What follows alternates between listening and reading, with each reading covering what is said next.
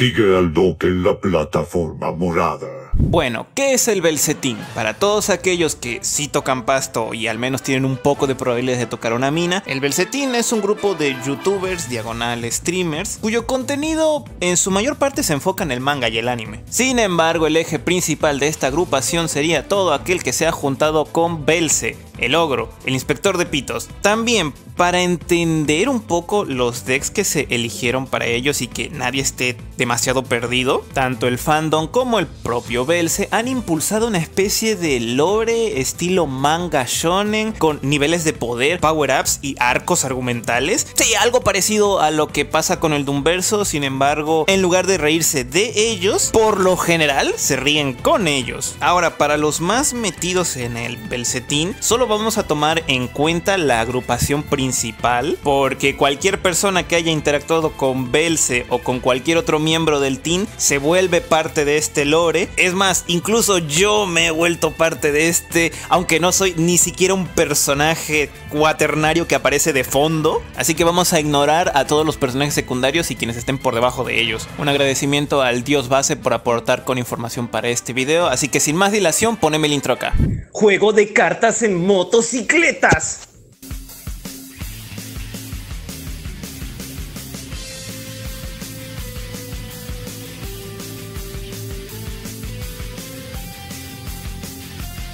Dudo mucho que algún miembro del Blecetín esté viendo esto. Sin embargo, este es el minuto para que se salte en la parte de Torcube. Mientras para el resto que no se baña... Oye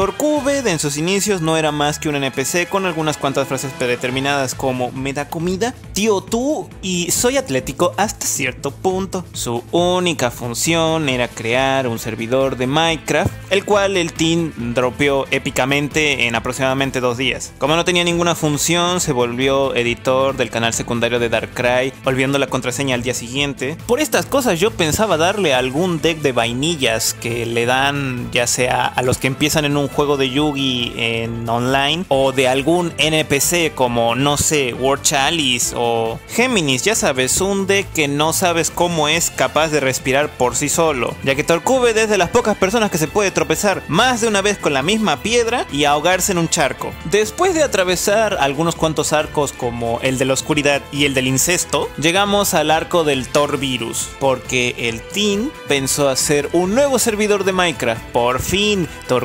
Cumpliría su función original. Sin embargo, uno de los mods metió virus en las PCs de todos los involucrados y bueno, se separó temporalmente del team diciendo esperaba más de ustedes y bloqueando solamente a Belce. Después iniciaría su carrera de streamer hablando de la polémica en un stream con 300 personas esperando más gente. Ya después se convertiría en una especie de Sigma Main y desaparecería épicamente sin dejar rastro. Para este punto uno podría pensar que Thor es una mala persona, sin embargo solo era un niño de entre 14 y 16 años. En conclusión, al pobre pibe le voy a dar un deck de informática, por así decirlo de algún modo, como lo puede ser el deck de Playmaker que está formado por civersos genéricos, Firewall y Codetalker. Otra opción también podría ser Digital Bug, que son insectos que aluden a los bugs informáticos y también a componentes de PC, así como destruyó las PCs de sus amigos. La verdad me parece bastante gracioso.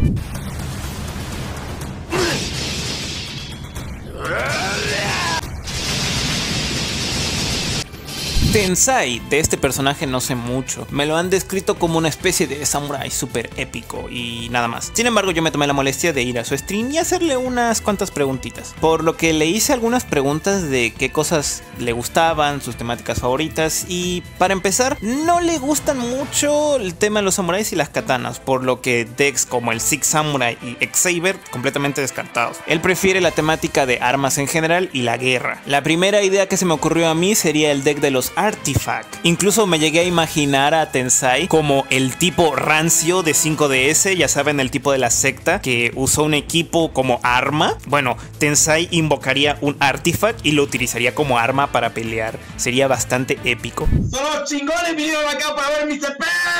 Salva, de este personaje no hay mucho que decir, es el compañero de piso y también entrenador de Belce. Este como tal no es creador de contenido, aunque algunas veces aparece tanto en los streams de Belce como en algunos videos, especialmente en el canal Fitness de Belce. Sin embargo, a este personaje generalmente se lo relaciona con Garou, personaje de One Punch Man, por lo que muchas veces se lo denomina como Salvarou y su forma más poderosa es Salvarou Cósmico. Afortunadamente, como en Yu-Gi-Oh! hay un deck de lo que se te ocurra, incluso hay un deck de Kobayashi Sanchino Dragon y hasta hay un deck de ama de casa. Así que hay un deck de One Punch Man. Tenemos el Banky Soul, cuyo boss monster es bastante parecido a Garou Bestia. Algún día haré un video de este arquetipo. ¡Fua! ¡Es mi primer día en la tropa! Espero que el general recuerde todos mis hazañas y... ¡Concha tu madre! ¿Quién es Pu? No sé. Espero haberte ayudado.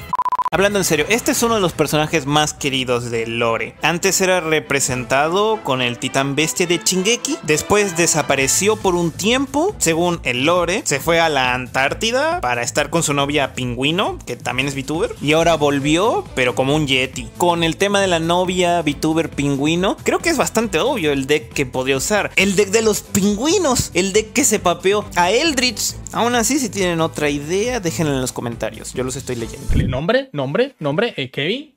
¿Nombre de la mamá de Kevin? Guille, hoy en día es representado con un Eco Arc y si bien hay un deck de gatos, no existe en el TCG, es solamente del anime, por lo que queda completamente descartado. Así que vamos con su forma más poderosa, que es el guerrero de Huelva, es una especie de huevo con una lanza, que es la lanza de Huelva. En el TCG y OCG oficial no existe un arquetipo de huevos. Hay huevos, pero son parte de otros arquetipos o son monstruos genéricos. En Rusduel hay una especie de subarquetipo de huevos, pero a nadie le importa Sin embargo, a mí me sugirieron el deck Armor por las lanzas.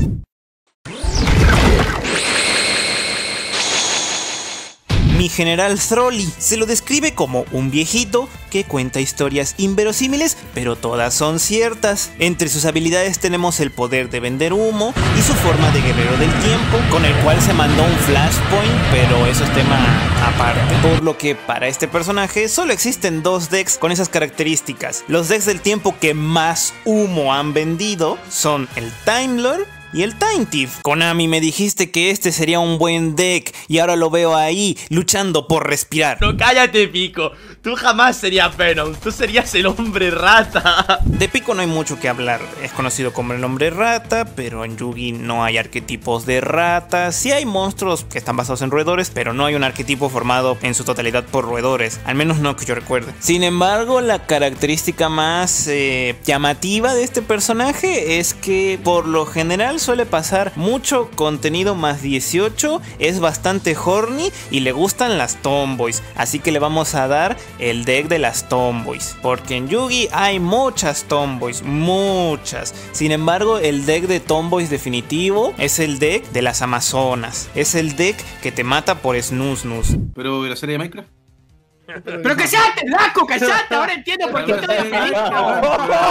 ¡Lo entendió todo! ¡Lo entendió todo! Blasco, la wea morada, la escuria. Además de ser terrible marihuano, otra de sus características es que es una wea morada, amorfa, invulnerable al daño físico. Por lo que pensé en darle varios monstruos que son inmunes al daño de batalla, como por ejemplo los Tomb, los Prankits. Aunque también hay que decir que el personaje como tal me recuerda mucho al Marshmallow que usaba Yugi, porque también es indestructible por batalla. Sin embargo, otra de sus características es que al ser tan elástico y maleable puede expandirse para comer cientos y miles de completos, por lo que hay un deck que se enfoca en no poder ser destruido y al mismo tiempo en comerse a los monstruos del oponente. El deck de renunciado considero que le quedaría bastante bien, además de que también es una wea amorfa igual que él, así que yo creo que son tal para cual. Guido, el dios base. El meme nació porque se hizo como costumbre decir que Guido en su forma base le gana a todos. O sea, es tan poderoso que no necesita un power up para ganar. Aunque sí tiene power ups donde se lo representa como una especie de dios angelical. Por esto se me ocurrió darle prácticamente cualquier deck angelical que tengamos en el juego, de los cuales tenemos varias opciones, como por ejemplo los agentes, los Tarlord, Archlord, Ceratos, incluso como también tengo entendido que le gustan las waifus, a lo mejor también le gustaría el deck de los ciberángeles. El futuro del arte está en el porno furro. Uf, aquí estamos entrando al trío monstruoso, empezando con Darkrai, ya que me dijeron que a él le gusta mucho el Bloodborne y las cosas de los cazadores, el chat me sugirió el deck Galaxy Ice Photon Dragon, porque Kaito en el anime de Yu-Gi-Oh! Sexal es un Number Hunter, quien se dedica a jugar los duelos de cartas contra aquellos que tengan los monstruos Numbers para ganarles y cuando le ganan, le arranca el Number junto con su alma. Y no es solo que le saca el alma, sino que también la destruye, aunque en algunos casos parece que también colecciona sus almas. Sin embargo, yo, ya que Darkrai es el simbolista, amante de los lores y esas cosas, en Yu-Gi-Oh! hay varios arquetipos con lores bastante interesantes. Incluso desde los inicios del juego hay series de cartas que intentan contarte historias, como el Giga Kagekigo. Así que yo considero que pueden escoger el arquetipo de lore que más les guste. ¡Ah!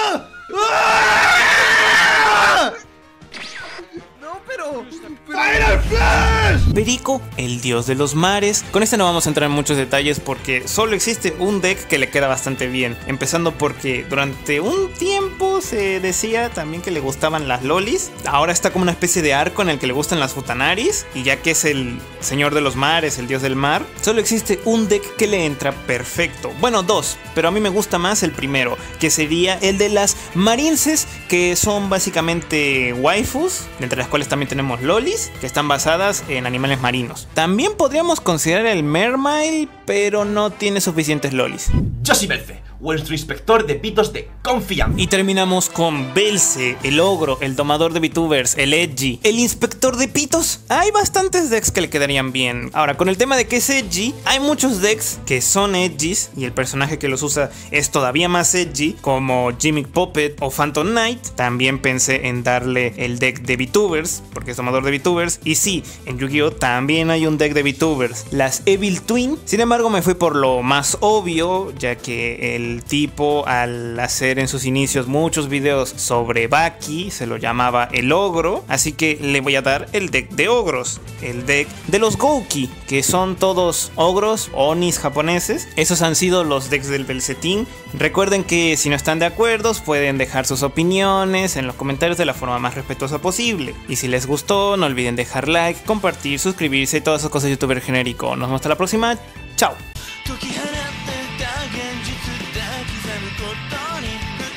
を共鳴してく心に踊ったってた先名前のない花。おそろいのい場所。僕ら見つかる。